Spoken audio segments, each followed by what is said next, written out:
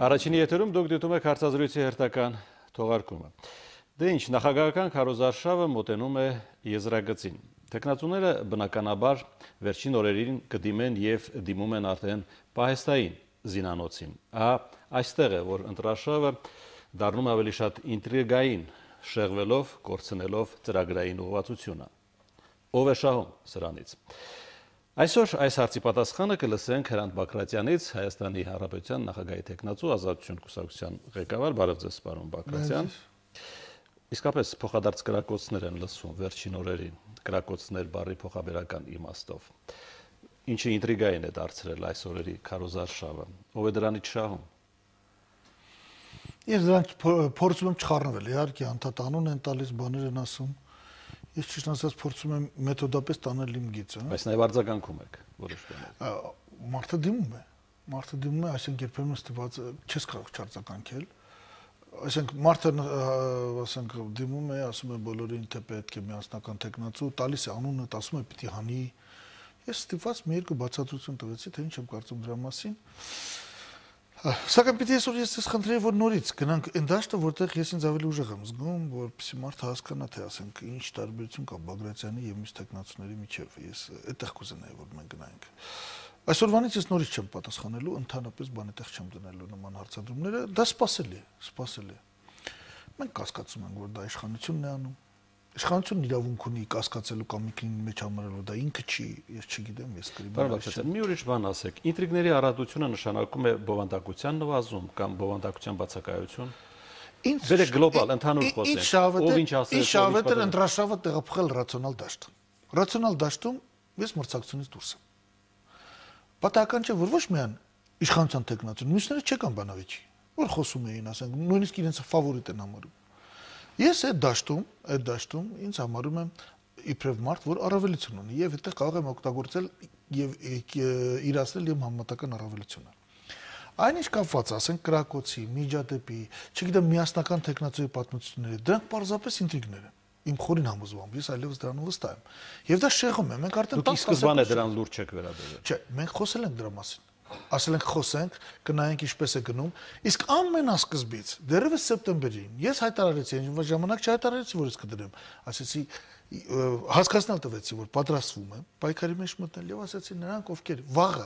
ընտրությունների ժամանակ խոսելու են միասնական տեխնացուից, եկեք պրայմերիզ անցնենք։ Հասկանում եք, դա եղել է։ Հիմա այստեղ ոմանք վարկանիշ չունեն, ոմանց վրա իշխանությունը ոչ միայն իշխանության տեխնացուի վարկանիշի վրա է աշխատում, այլ ասենք փորձում են մյուսներին էլ մի քիչ ավելացնել տեխնացուներ, որոնք իրեն ձեռնտու կլինեն, հաճելի կլինեն։ Հիմա դրանցից ոմանք վեր են կերում ու սկսում են խոսել միասնական տեխնացուի վարկանիշի մասին։ Հիմա այ օրինակ մենք ընդամենը 20 րոպե ունենք։ Ես կուզենայի խոսել այնտեղ որտեղ համատական առավելություն ունի։ Դուք որևէ ջղագրգռություն չեք զգում։ Բացարձակապես, բայց հանգիստ ես ռեակցիա չեմ տալու, ես հիմա ձեզ հետ միասին մի քիչ հենց այս բան շտապում եմ, որպեսզի ամենաարդյունավետ ձևով օգտագործենք մեր 20 րոպեն։ Մի քանի օպերատիվ հայտարարություններ արտաշատում կարծեմ ձեր շտաբի նկատմամբ ինչ որ քայլեր են ձեռնարկվել դա ինչ է ձևակերպումը որն է դրա ինչ է տեղի ունեցել չեմ կարող ասել երկրորդ դեպքն է արտարոց դա նման է ավելի շատ խուլիգանական արարքի բայց քանի որ այնտեղ գյուղապետն է խառնված գյուղապետը թե գյուղապետի տեղակալը ըստ ոստիկանության հայտարարության մի քիչ չեմ կարողանում հասկանալ ասենք շրջել մեքենայով եւ հավաքել այդ նկարները երեք ես արտաշատ Արարատը Մեղեսիսյանով եւ ամենուրեք միայն ձեր նկարները այո միայն իմը ամենուրեք ֆիքսել եմ շատ բարձր վարկանիշ Այսինքն դա բացարձակապես չի բռնում այն եվրոպացի դիլետանտների կամ այսպես ասեմ ցախու արարածների արած հայտարարությունները։ Դա շփումից եք զգում, թե հատուկ ուսումնասիրություն եք անում կոնկրետ այդ բնակավայրում։ Մենք դա զգում ենք ինտերնետից, մենք դա զգում ենք երկու անգամ վճարել եմ մեր համար սոցիալական սոցիոլոգիական հարցումներից եւ մարդկանցից։ Մենք վճարել ենք շատ լուրջ սոցիոլոգիական հարցումներ մեզ համար։ Ես պարզապես խուլիգան չեմ, որպեսզի նման բան հրապարակեմ, որովհետեւ վճարողը ես եմ եղել այն բոլոր դեպքերում սուբյեկտիվ է։ Պարոն Բակրատյան, դա ենթադրում է, որ այն հարցումները կամ այն ուսումնասիրությունները, որոնք դուք կատարում եք, եթե ընտրությունների արդյունքները շեղվեն շատ կամ կտրուկ շեղվեն ձեր այդ արդյունքներից, նշանակում է ինչ որ բան այն չէ։ Դուք ձեր արդյունքներով եք միայն առաջնորդվելու, թե պիտի գնաք ընտրական Այստեղ մի բան ասեմ ու անցնենք մեր գործի քննարկմանը։ Գյումրիի մահկատությունը 47% է այդ եվրոպացի բարեկամները, Գելապնա չեմ հիշում։ մի կերպ եմ զսպում, որ մի կոպիտ բարձ չասեմ դրանց հասցեին։ Ֆիքսում են, ֆիքսում են։ Ասեն գործող նախագահի համար Սերժ Սարգսյանի համար 70%։ Ուրեմն նրանց հարցվածի մեջ էլ, չէ, 100-ից 47-ը միջին հաշվով աղքատ է լինի, չէ։ 53-ը ոչ աղքատ, 47-ը աղքատ, ճիշտ է։ Հիմա 53-ից բացի եւս 17, այսինքն 17 աղքատ, երազում են, որ Սերժ Սարգսյանը նորից նախագահ դառնա։ Բայց այսպեսի բան կարելի անել։ Չէ, դուք դա բացառում եք։ Իհարկե։ Որ մարդը վատ է ապրում, բայց կցանկանա ընտրել։ Իհարկե բացառում եմ, որովհետև նրա իշխանության օրոք 5 տարվա 22%-ից այդ աղքատների տիվը, եթե Գյումրիի 100-ից միջին հաշվով 100-ից ասենք 22-ներ աղքատ, հիմա չէ, 100-ից 30-ներ այնտեղ աղքատ, հիմա 47-ն է աղքատ, իսկ հանրապետության միջինը 35 է աղքատության։ Հասկանալի է, բայց աղքատությունը այլ բացատրություններ նույնպես ունի։ Չգնանք նաև այդ ուղղությամբ, որովհետև դրանք ունեն նաև օբյեկտիվ բացատրություններ։ Լավ, հիմա հիմա գիտեք ինչ կա։ Ես տրամաբանական գիծ եմ տանում։ Հա։ Չէ, դուք նաև 4 թվեր եք համեմատում Հա, եւ 4 թվերը իշխանության թվերն են բերում, ընդ որում իմ թվերը չեն։ Հիմա տրամաբանական գիծ եմ ասում, իհարկե ամեն դիմի տրամաբանության մեջ կա հակատրամաբանություն։ Դու կարող եք կարճել հակատրամաբանությունից, բայց ես տրամաբանական բան եմ ասում։ Հիմա իսկ եթե իսկ ինչ կլինի որ դու ձեր հարցն էլ տրամաբանական դարձնեք, այդ դեպքում ինչ որ ճշմարտություն գտնենք, ես համարում եմ աննորմալ, որ մարդը աղքատ է, ընդ որում ինքը որպես կանոն աղքատացել է այս վերջի 5 տարում, ու գնա նորից վարկանիշային հարցումով այդ եվրոպացի բարեկամներին, այդ գելապներին կրկնում են բարձ չեմ գտնում ասելու, քիչ ամնում բերանից տրնի այդ գեղեցիկ հայկական խոսքը դրանց հասեին, որոնց փող է տալիս իշխանությունը, որոնք վարկանիշ են հրապարակում։ Ինչին է պետք իշխանության։ Վերադառնանք ծրագրերին, ես առաջարկում եմ որ խոսենք ինչ ենք անելու, ոնց ենք անելու, այս երկիրը ոնց ենք այս վիճակից անելու։ Պարոն Բակրատյան, դուք անցած անգամ մենք ավարտեցինք այսպիսի հնչերանգով, ինչ տնտեսություն ունենք մենք եւ ինչ ուղղությամբ է մեր այդ տնտեսությունը զարգանում։ Դուք դեմ չէիք կարծես թե ոչ ուղղություններին, ոչ գործող համակարգին։ Դեմ եք կառավարմանը, սխալ կառավարում տերմինը օգտագործեցիք։ Գնանք այս ճանապարհով։ Գնանք, եթե դուք թույլ կտաք, դուք գիտեք, որ Սերժ Սարգսյանը եւ մյուս տեխնացուն չեկան բանավիճ։ Պատճառաբանություններ ա- հասկացուն Ես կարծում եմ, ես ինձ իրավունք եմ վերապերում, որ դա բա- բան հարգալի հարգալի բա- բան չէ։ Ազատություն ռադիոկայանում մանավանդ որ տնորենը Հրայր Թամրազյան ինձ ասեց իրականում ինչ պատճառով չեն եկել։ Հա? Մեկի մասով։ Հիմա Այնուամենայնիվ մեզ չաջողվեց։ Ես ընդունում եմ, որ ասենք որոշակի ծրագիր Սերժ Սարգսյանը ներկայացրել է։ Հիմա հարցը ցակում, ինչու էլի ոչինչ չենք հասնելու հաջորդ 5 տարիներին։ Դա շատ էական է։ Բագրատյանն ասում է. Ես փոխելով ֆինանսական քաղաքականությունը, ստերիլիզացիա անելով, այսինքն դրսից եկող այդ միլիարդները, որ կգան, մոտ 10 միլիարդ դոլար փող կգա դրսից առաջիկա 5 տարիներին։ Ես ստեղծում եմ գործիք, այդ եկած փողը դարձնելու խնայողություն ու ներդնում։ Ներդրումների համախառն ներդրումների ընդհանուր մեծությունը տարվա մեջ հասնում եմ 3 միլիարդից 4 միլիարդ դոլարի։ Ամեն մի միլիարդ դոլար ներդրումը 11 միլիարդ դոլար հնայի մեջ կազմում է 3% տնտեսական աճ։ Ես ասում եմ 11-12% տնտեսական աճը ստանում է։ 10 միլիարդ ներողություն դուք ուղակի ներդրում եք համ- Մեր տրանսֆերներն են։ Դրանց մի մասը փոխանցում եմ ներդրումների։ Տրանսֆերտներ։ 3-ից 4 միլիարդ ներդրում եմ ստանում, որից 2.5-ը, 2.5-ը մենք ունենք, 1 միլիարդ էլ դրանից տարեկան կետա որպես ներդրում։ Ես այդ գործիքը գործիքը կազմը, այսպես կոչված ստերիլիզացիայի միջոցով ստանում եմ։ Բայց ստանալով, վերջացնեմ, ստանալով 11-12% տնտեսական աճ, ես մի քիչ էլ պայքարում եմ կոռուպցիայի դեմ, մի քիչ էլ լրջորեն պայքարում եմ, բայց աստիճանաբար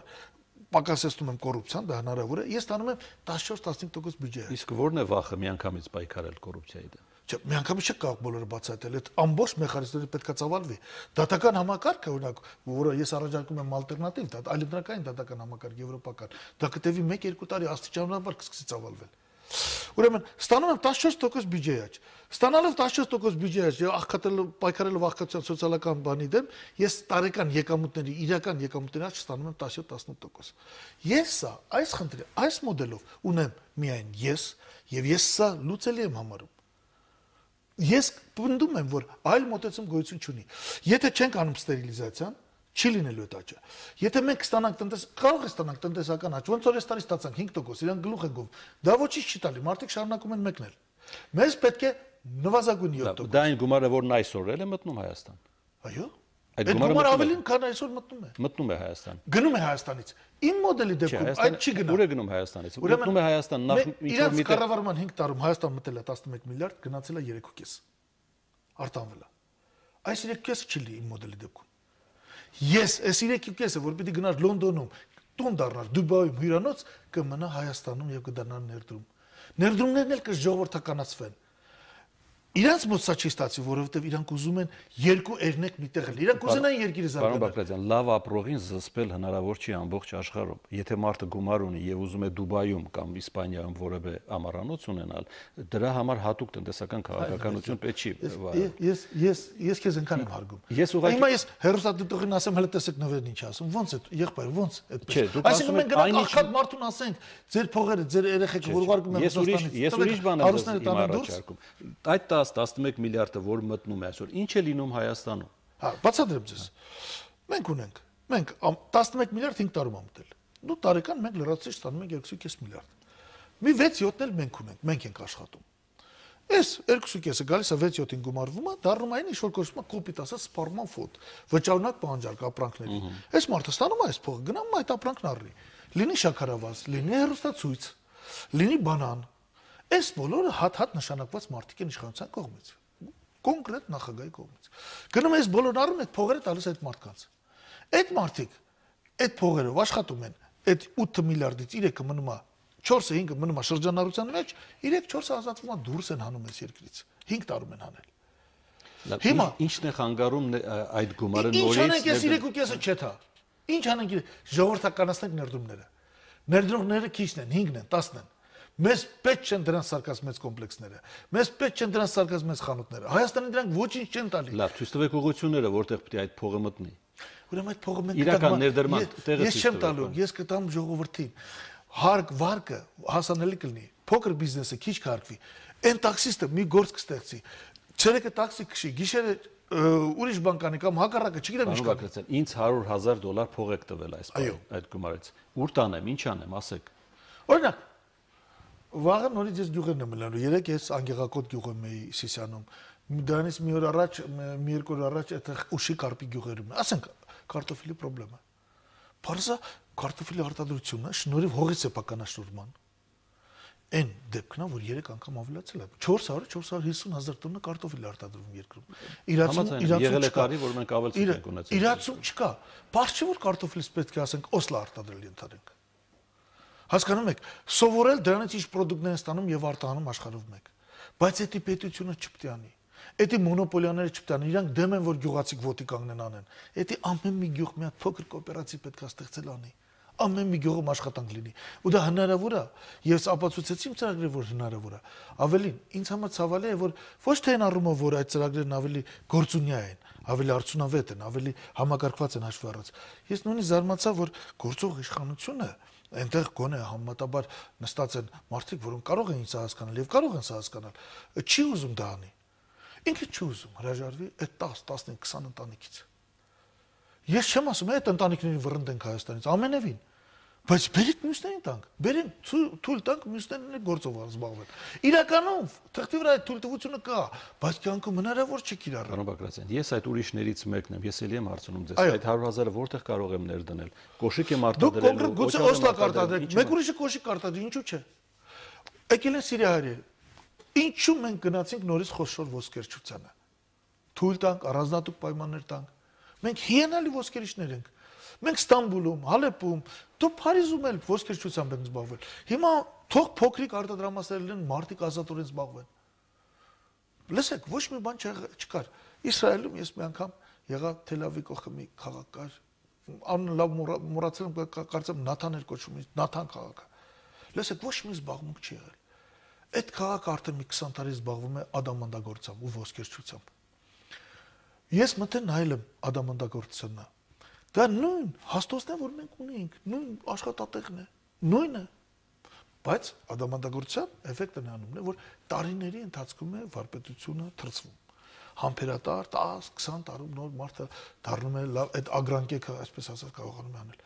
լսեք 3 միլիարդ դոլարի էքսպորտ էին անում աչքից առաջ հերախոսով կոնտրակտ են ստորագրում տնտեսական 100 միլիոն դոլարի ինչու չեն կարող անել Ինչ ենք մենք, պակաս ենք, ինչ ենք։ Հասարակ բան եմ ասում։ Գյուղացին այսօր բերում է խաղող է հանձնում։ Բոլոր կոնյակի գործանները շուրջ 10 կոնյակի գործարաններ ակտիվորեն խաղող են գնում։ Էդ էլ ես էլ այդտեղ ինչ որ համագուն եմ որ կոնյակագործությունը սկսեց վերականգնվել հանրապետություն, որովհետև ճիշտ հիմքեր դրեցինք, ստանդարտները փոխեցինք։ Հիմա ինչու պիտի գյուղացին խաղող վաճառի։ Իսկ ինչու գյուղացին պիտի գինի չգցի գինի վաճառի։ Եվ ինչի այդ գինի գցելը ինչ որ կոոպերացիա չպետք է գյուղացին բերի իր այս կոոպերացիան, որ ինքը փայատերա, այդտեղ գինի սարքի նոր տա գործանին։ Ինչու ամեն մի գյուղում այսպեսի փոքր ժամանակից արտադրամաս չի կարելի կառուցել, որը փայատիրական ոչ թե բաժնատիրական, փայատիրական հավասար հիմունքներով պատկանում է գյուղացիներին։ Ինչու չի կարելի հաջորդ քայլն անել։ Ինչու էս մարդիկ գնան Հայաստանից։ Կարելի ամեն ինչ անել։ Ես հիշեցի կոնյակի գործանում ձեր տնօրենն աշխատած տարիները, երբ խաղողը կոնյակի գործան ամենամեծ ծավալներն էր։ Մենք միշտ ամենամեծ ծավալը։ Ամենամեծ ծավալը։ Համապատասխանում էր գինը ինքնարժեքին այն գինը, որ դուք վճարում եք գյուղացուն։ Ինչքան էր մոտ ինքնարժեքը։ Այժմ, ասեմ, անկեղծուն ասած, մինչև մեր շուկայում աշխատելը 50 դրամ եղել գինը։ 98-ի մեր գնումները եղավ միջինը 140 դրամ մենք հասկանում ենք, որ եթե 60-ով գնենք, կգնենք։ Ախր 140-ն էլ խղճին մոտ չի, պարոն Բակրատյան։ Նվեր ջան, մի րոպե, մի րոպե, մի րոպե եղբայր։ Մենք ասում ենք շուկա գնանք 60-ով։ Ես ձեզ տարա որպես աբան ներկրող այդ դիրքից խոսեք։ 140-ով որ գնել եք ինքնարժեքի կիլոգրամը եղել է 70 դրամ։ Այսօր 1 կիլոգրամ խաղող արտադրել արժի 100-ից 110 դրամ։ Միանշանակ եմ ձեզ ասում։ Ուրեմն ինչքան պիտի լինի գնման գինը։ Մոտարապես։ Գնման գինը այսօր պիտի լինի 130-140 դրամ։ Կոնյակի գործանը իմ օրոք այդ գինը վճարել է դեռ 98-ին։ Հələ իշքան գնաց առաջած։ Այն ժամանակ մեկին երկու շահութաբերություն էր։ Մի կարևոր բան էլ պիտի հասնենք անպայման։ Դուք առաջարկում եք պետության եւ օլիգարխիայի միջև կտրել կապը։ Կապտրել, այո։ Այս կապը վաղուց գոյություն ունի, ճիշտ է։ Նույնացված է նույնացված, չէ, վաղուց գոյություն ունի։ Այնինչ այս կապը առաջացել է Ռոբերտ Քոչյանի օրոք։ Այսպեսի կապ չի եղել մեր օրոք։ Սա նոր երևույթ էր։ Նոր համեմատաբար 10 Ձեր օրոք ինչ կապ է եղել այդ դեպքում։ Բացարձակ ով է տնօրինել տնտեսության։ ոչ մի օլիգարխ չի եղել։ Տնտեսության առգերակա կողմերը։ Նո, նախ իմ օրոք դա ամենը բոլորը դեռ պետական էր։ Դու գիտեք, ես փոքր սեփականաշնորհում եմ արել եւ սննդի ու տեքստիլ որոշ ձեռնարկություններ խոշոր սեփականաշնորհում է մեծ գործարանները, գործարաններ, որպեսզի կեն հայ էլեկտրոն, լամպերի գործարանը կամ, չգիտեմ, մեծ մասը արվել է յուրօրինակ ձևի Ռոբերտ Քոչյանի օրոք։ Քաջարանի մոլիբդենը որպես կանոն շատ, այսպես ասեմ, խորամանկ ձև են սեփականաշնորհը։ Ինչ որ ծրագրի տակ, իբր ապագա ներդրումների տակ, որոնք ոչ մեկը չեն կատարվել։ Ոչ մեկը։ Այսինքն այդ ժամանակ ես ուզենայի օլիգարխ չէր կարող առաջանալ։ Տնտեսության հիմնական ոլորտները պետության ձեռքում էին այսինքն այս խոշորները որպեսի առաջանա օլիգարխ անպայման նրան պետք է պատկանա որևէ սիստեմատիկ արտադրություն կլաստեր, որևէ կլաստեր նրան պետք է պատկանա։ Օրինակ, 97-98-ին ասենք բենզինի, դիզվառելիքի կամ ավիակերասինի ներկրումները հանձնարարվեց 3-4 ընկերության։ Իսկ եմ դրանք թվարկել, դրանք հայտնի ընկերություններ են։ Բերողը Հայաստան 3-4-ն են։ Վաճառողները գուցե 5-6-ն են, երկու հոգի ավելանում։ Ներսից իրենցից գնում են։ Իմ ժամանակ հստակ ասում եմ 96-ին նոյեմբերի 4-ին հեռացել եմ կառավարությունից 25 ընկերություն բենզիներ բերում։ Ավելին, բողոք էր գալիս հաճախ որ 25-ը մրցակցում են Վրաստանում եւ բարձրացնում են տրանսպորտավորման կամ տրանզիտ փոխադրման գները։ Ես ասում եմ, ինչ եք խոսում, ինձ հեքիաթներ մի պատմեք։ Բոլոր դեպքերում ճիշտ մրցակցում։ Հոյակապ օրինակ բերեցիք, պարոն Բալի։ Շղթան հետ ենք տալիս։ Տանում ենք այնտեղ, ինչը դուք թողել եք։ Շեմ իջեցնում։ Նո, նո, նո, նո։ Շեմ իջեցնում ենք նորից։ Խոշորին ասում Ես ուզում եմ մեխանիզմին ծանոթանալ։ Բարի, ընտրողը։ Դուք ինչ մեխանիզմով եք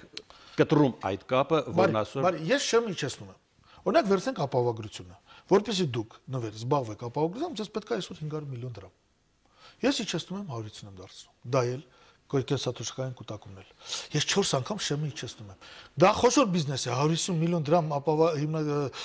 հիմնադրամը նույնպես խոշոր բիզնես է, բայց հասանելի շատերին, հասանելի հարյուրներին։ Ինչպես չի դա։ Իրանք սա ասում են հուսալիությունը կորի։ Բանկերը մեզ մոտ բանկ կարելի է բացել 7 միլիարդ դրամով։ Ես քիչ եմ այդ թիվը։ Քիչ ասեմ գոնե այնքան ինչքան Ռուսաստանում է, հասկանում եք, նույնիսկ Ռուսաստանը, որ մեզնից 70 անգամ մեծ պետություն է, կանոնադրական կապիտալի նկատմամբ պահանջները 3 անգամ ցածր են։ Եվ այսպես։ Բացի դա, անում եմ երկրորդ քայլը։ Մինչև բիզնեսի, փոքր բիզնեսի միջինի շրջանակները հարկման մեկ մեխանիզմ է։ Խոշորի դեպքում հարկերը բարձրանում են։ Միջին հաշվով խոշոր բիզնեսը մեկ ու կես անգամ միավոր բիզնես հաշվով ավել պետք է հարկվի։ Չի ուզում, թող վերադառնա։ Շատ բան, հենց այստեղ այստեղ որտեղ է արդեն կապը կտրվում այստեղ օլիգարխիայի այստեղ կապը կտրվել որտեղ? Օլիգարխիան արդեն բնականորեն ուզում է վերադառնա վերադառնա փոքր միջին մեծ դաշտում աշխատել ես օլիգարխիան կմասնատեմ իմ ձեռնարկությունները կմասնատեք ձեռնարկությունը երկրորդ կապը երկրորդ կապը քաղաքական տնտեսությունը կշահի պարոն բակ միմիայն քաղաքական փոփոխությունների կոնցեպտն է երկրորդ կապը եթե դուք օլիգարխ եք ուզում եք դառնալ падգամավոր Ուզում եք դառնալ նախարար։ Խնդրեմ։ Չէ, դա հեշտ է, դա հեշտ է կտրելը։ Դա դա, դա ես անում եմ մի օր։ Դրա հիմքը ոչ միայն եկամուտներ, այլև ծախսերի համատարած հայտարարագրումն է։ Դրանից հետո օլիգարխան չի մտնի իշխանություն։ Եվ ուզում եմ ասել օլիգարխային բավարար է իշխանությունն է հայտարարում եւ չի անում։ Չի անում։ Իշխանությունը այդ կիսատ պրա 11 թվին օրենք ընդունել էցիկայի, կնոջ անով ձևակերպում աշխատում է ինչ տարբերություն անով վերջը ինչ որ բան անում։ Մեր սխեմայում չի կարող։ Ինչ որ բան անում է, պարոն Բակրատյան։ Անում է նաև տնտեսության լիցկաթափման այդ process-ը, խթանելով արտահանումը ներմուծման հաշվին կամ ներմուծմանը ձեռ չի տալիս, խթանում է արտահանումը։ Ընդունում եք, որ այդ process-ը կատարվում է։ Գիտեք, վերջին հաշվով նվեր էսպես կարող ենք խոսել։ Ընդունում եք, որ տնտեսագի տնտեսագիտական կամ քաղաքական այս տերմինը իշխանության հայտ են։ Հա, հայտնի են։ Հա, ընդունում եմ։ Կատարում է այսօր այն, ինչ պիտի 3 չեմ այսօր կատարեր։ Իսկ ինչու այսօր չկատարել այն, ինչ այսօր պետք, ավելի վաղն է պետք։ Ինչու այդպես իշխանություն ունենալ։ Մենք հետ ենք մնում։ Ես չեմ ասում մեր մոտ ոչինչ չի փոխում։ iPhone 5 հեռախոսը մեզ մոտ էլ հիմա կա։ Շուտ ուշ կլինի։ Բայց ինչու մենք առաջիններից մեկը չլինենք։ Ինչու օրինակ վրացիները, ադրբեջանցիները, առավել եւս թուրքերն ու իրանցիները մեզանից հետ չմնան։ Մենք հետ ենք մնում։ Վերջին օրինակ 15 տարում 20 տարում։ Եթե 96-ին շատ վատ էր վիճակը, բայց մենք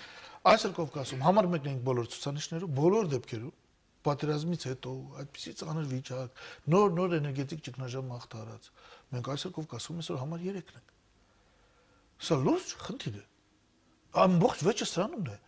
Դուք ինչ ես ես ոչ չեմ ասում հերթացով, այս իշխանությունը երբեք չի ուզենա, որ երկիրը բոլոր լավ ապրեն։ Որ մի նախագահ չի ուզի այդպեսի բան։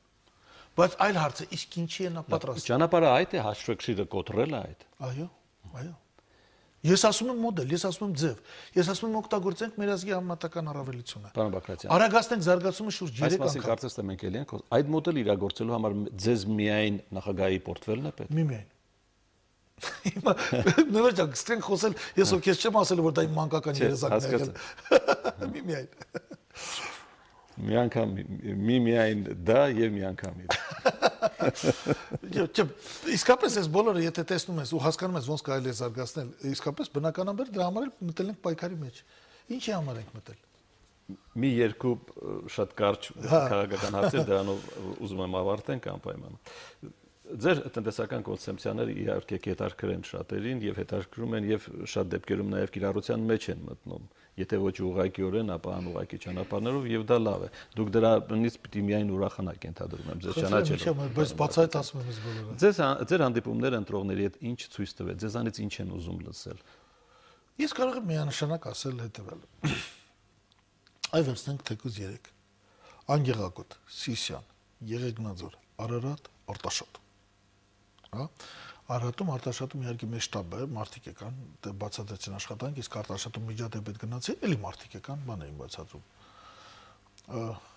Միանշանակ բոլորը անցալում են A։ Այս մարդը լուծումներ ունի։ B։ Այդ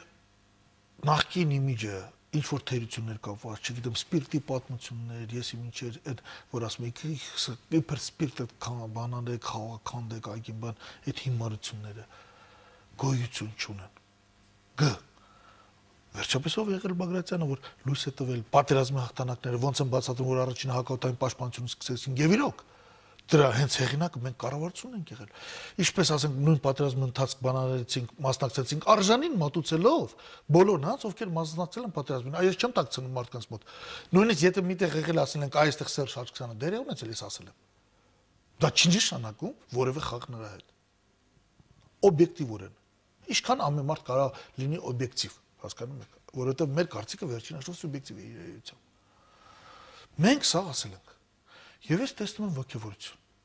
Ես տեսնում եմ, որ եթե մի երկու շաբաթ էլ լիներ, ես չեմ կարողանում պատկերացնել ոնց են դիմանալու, ոնց են դիմանալու էլ ասելի չունեն։ Եվ վերջապես ես տեսա, որ իրանից փախնում են։ Շատ օբյեկտիվ լինենք, ում միջև է ընթանում մրցակցությունը։ Ես կարծում եմ, եթե իրանք արհեստականորեն չփոխեն երկրորդ երրորդ համար,